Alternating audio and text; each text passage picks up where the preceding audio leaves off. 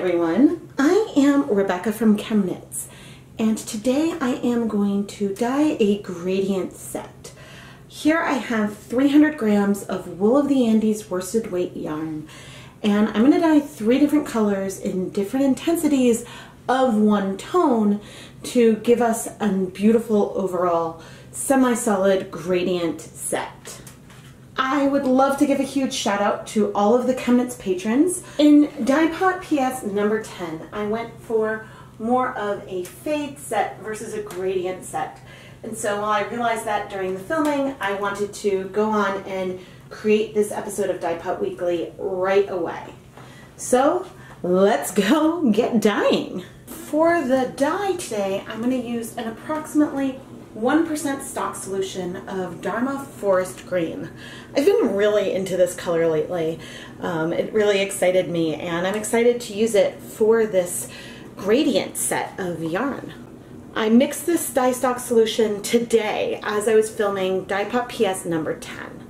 I'm not sure if that episode is public now at the airing of this episode of Dye Pot Weekly, but if you would like to get early access to new yarn dyeing videos, check out the ChemKnits Patreon. You can find links in the video description and iCard, and at the time you're watching this, that video is definitely available for patrons. I am pre-soaking all of the yarn in plain tap water for at least 30 minutes.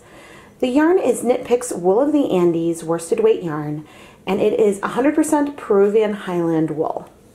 In the dye bath, I have 12 cups of water.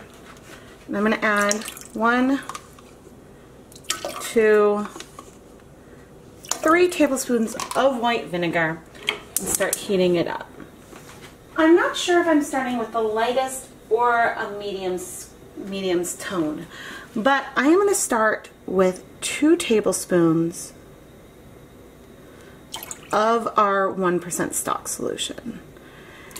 And then from there, I will be able to gauge if I want to add some more color or maybe some less color um, for the other two skeins of yarn. But this gives us at least a nice sort of starting point.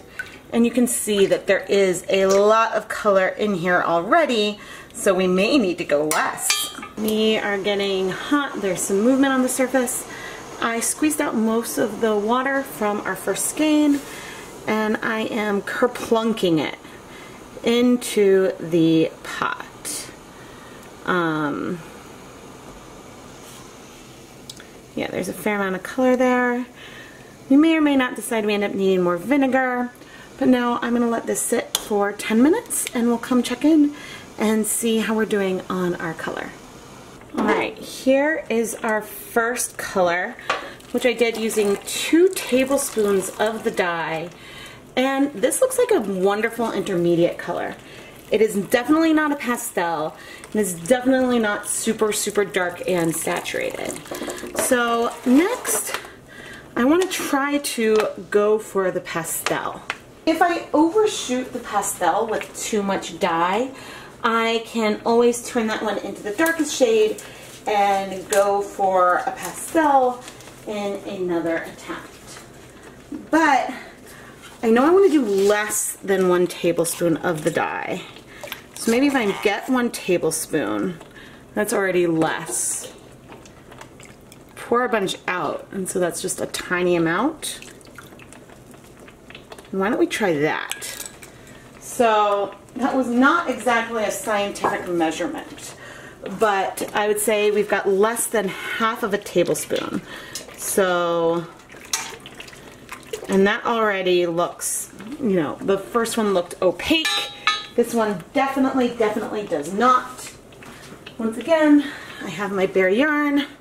I'm gonna plunk it in and swirl it around and hope that I get some reasonable coverage on the yarn before all of the color strikes. Um, actually, that is not bad. I'm expecting there'll be a little more tonal variation in this skein than the other one just because there is a lot less dye to absorb but we've definitely got a nice pastel color. All right, I'm gonna go ahead and leave this in the pot for 10 minutes. I was nearly positive that the water was going to be clear, given that um, we started off with something that was, you know, it was basically clear from the get-go. So, the what's the concentration difference? Maybe it's close to a 1 to 4. I did not measure out, I could have gotten a smaller spoon, but I did not measure out how much of the dye um, there was between the palest shade and the more medium shade. But here we had two tablespoons, here we had less than half. So, for the darkest shade, why don't we go for, let's try four tablespoons? Uh, let's go with five tablespoons of dye. All right. Let's measure this out. We've got one, two, three, four, five, and oh, I didn't quite kill it. I was really kind of hoping that in this project I would use up all the color, but for that it probably would have been helpful to mix some um, dye stocks for each of them to get some like good proportions, etc. But nevertheless, I am really excited and let's go get our yarn. Rebecca, why whenever you do dilutions are you using some kind of blue-green? That has seemed to be a theme for a bunch of these videos. I'll put links to some of the others in the video description. Anyway, let's add our third skein of yarn. Just kind of plop it in, add it in, and wiggle, wiggle around. It's actually really fun to see this forest green color on its own. It definitely reads fairly blue, more so than like a green. It looks like a very, very deep teal. Um, and I'm not sure, hmm, I'm not sure if I overdid it at all or not. But either way, I'm to turn up the heat a tiny bit and we are to go ahead and leave this for 10 minutes. After 10 minutes, there is still some color here in the pot. Not a lot of color, considering where we started, but that's still some color. And yeah, I'd like to absorb it. So I'm to go ahead and add a super, super scientific splash. Eh, two splashes of vinegar um, I would say, I don't know what a good estimate for how many tablespoons are in a splash, probably at least two, but I'm gonna leave this on low heat for another 10 minutes. We are only a couple minutes in and we have cleared this besides maybe a tiny bit of a yellow tinge. I'm gonna go ahead and leave this in the pot a little while to start cooling down, but I think that if we compare that yarn to the other two that we dyed already, we will have a really, really nice gradient set. As for the remaining dye, I diluted a tiny bit to rinse out the container, but I added it to a tulip tie-dye squeeze bottle so that way I can save it for a future leave no dye behind video. Today's project was functionally like doing serial dilutions except instead of, say, a dilution, we were just adding different amounts of the stock solution. But there's an approximate 1 to 4 ratio of the dye in between each stage. We definitely, though, have a gradient here. But they do feel like equivalent steps up. And so now we have three skeins of yarn our water is clear, by the way. But we have three skeins of yarn that can be combined for a number of different projects. I'm going to use a little bit of clear dish soap just to see if we get any bleeding. But I'm not really expecting any. And yeah, I mean, you could use this with color work. Um, you could do like a full-on gradient or something. Um, there's a lot that can be done. And you could even start working and do this kind of technique with mini skeins versus full skeins. Um, a lot of people sell sets of mini skeins that have step functions. Step functions. It's not quite a step function. But a lot of people will sell mini skein sets that have um, varying shades of one tone or a gradient um, that would give you from tone to tone. So clearly, you know, we did this with just one color, but you could add another color in there as well to go from like a teal to a blue or something like that. Um, but there's a lot of possibilities. But anyway, since our water is clear, I'm going to give this a final rinse, then go and hang up this yarn to dry, and I'll be back with some final conclusions. ChemKnits family, I promise that someday I will do a gradient or fade type project and it will not be in a green or teal color. oh man. I mean, I'm just, I'm just really, really amused that this is the direction that uh, this project went. Nevertheless, uh, we dyed three different semi-solid yarns today, and these colors are each distinct and can mix, be mixed together in many different ways, whether you want to do a fade or some kind of color work. They all have the same hue, but there's different levels of saturation, which is just a lot of fun. When approaching this project, I created the medium shade first.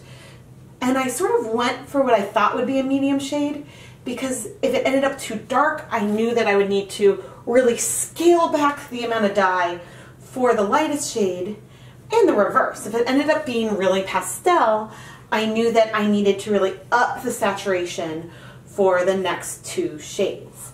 Um, so rather than, you know, immediately going for the lightest shade, it could be harder for me to determine how much I want to use for the darkest or vice versa. If I started with the absolute darkest, it could be a little harder for me to get something that was light enough um, for the lightest shade. When doing something like this, remember you can always add more dye, so it is better to err on the side of too little dye than too much. One other way that you could go about this is you could mix a dye stock and then do some serial dilutions. And that could help you make sure that you have a consistent step between each of the three or more colors that you are creating. I created this set with three 100 gram skeins of Knit Picks Wool of the Andes worsted weight yarn. Um, this gives us a total of 660 yards, and that is more than enough for a hat and mitten set. Uh, you could do a really nice scarf. This is a lot of yardage, and you could do a lot with it. Um, if you would like to learn more about the yarn base, you can find my affiliate link in the video description. I am Rebecca from ChemKnits, and I hope that you found this video and my approach helpful. If you did, please give the video a thumbs up and subscribe to the ChemKnits Tutorials YouTube channel. In addition to more planned videos like this one, I love to just randomly throw colors and different types of dyes at yarn and to just see what happens. So that way you can learn from my mistakes, and I make a lot of mistakes, and my successes because sometimes things that I think might not work well end up turning into some of my favorite techniques ever. Did you know that you could bring home a little piece of ChemKnits?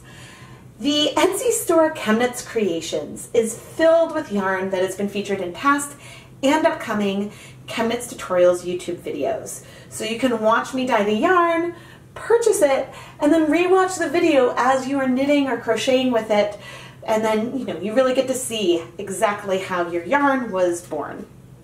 If you're a massive fan of ChemKnits but don't need any more yarn, there is some ChemKnits merchandise available. Uh, through Zazzle, I have some mugs and notebooks and fun stuff, and you can find a link to that in the video description. Thank you so much for watching, everyone.